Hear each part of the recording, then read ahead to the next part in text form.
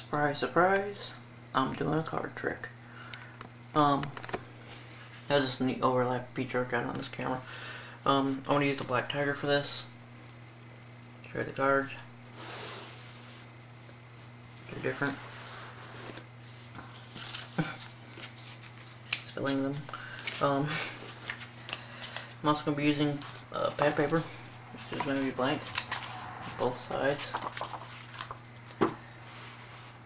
I'm also going to be using a marker. Pad of paper is going to stay right there where you can see it, but I've got enough room to work. I'm going to start by shuffling the cards up.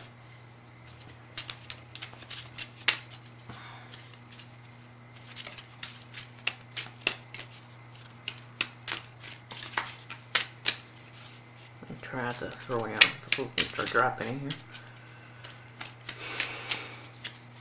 Okay. Just throw the cards all over the floor there. Now, I'm going to write down a card number. So I think something... Three clubs. Three clubs. I'm going to reach in here. I'm going to find a card. This one right here this looks good. Okay, place it right here. Now I'm going to think, um, that's eight clubs. Keep it in the eight or clubs.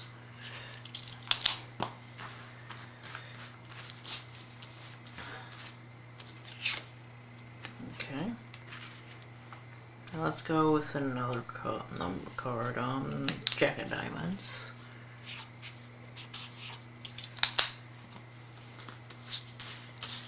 Uh, let's go with this one right here.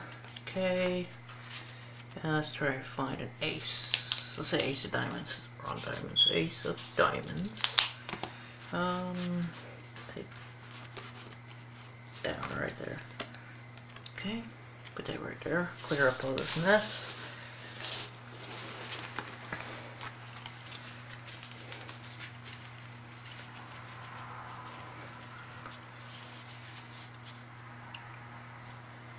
Set those right there. Pull this out where we can see it better. Turn around. Here's my cards.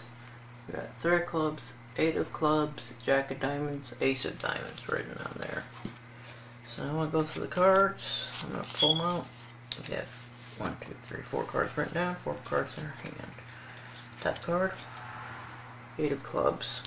Eight of clubs, there she is right there.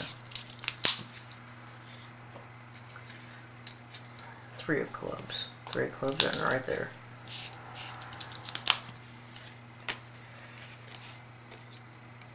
Jack of diamonds. Jack of diamonds right there and ace of diamonds. Ace of diamonds, four out of four. It's not too bad, is it?